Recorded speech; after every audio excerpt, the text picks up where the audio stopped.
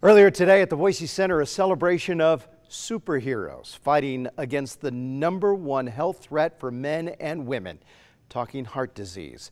A student saved from drowning by someone who performed CPR and a man who received a heart transplant among the speakers at today's Go Red for Women's luncheon.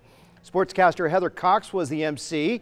The luncheon also included informational booths to connect people with information about healthy habits and life-saving CPR techniques celebrates a 15-year-old movement to help American women be empowered about their own health so that they can take charge of their heart health, their cardiovascular health, and uh, it's really a celebration too.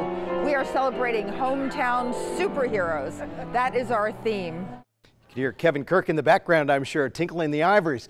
The American Heart Association says cardiovascular disease kills one woman every 80 seconds. But 80% of cardiac events may be prevented with the help of education and healthy lifestyle changes.